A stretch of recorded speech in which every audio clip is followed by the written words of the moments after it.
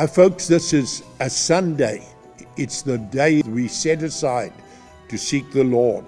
But we should be joyful. It's Christmas. Yes. What happened when Jesus was born?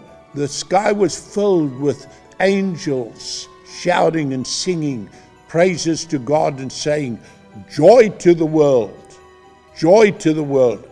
We come with good tidings of great joy. Good tidings is Old English for good news. Yes. I got good news for you as you've come to the last Sunday before Christmas. Yeah. If God be for you, who can be against you? Absolutely. He's on your side 24 7.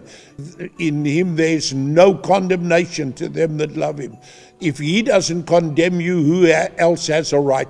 You don't have a right yourself. The devil doesn't or anybody else.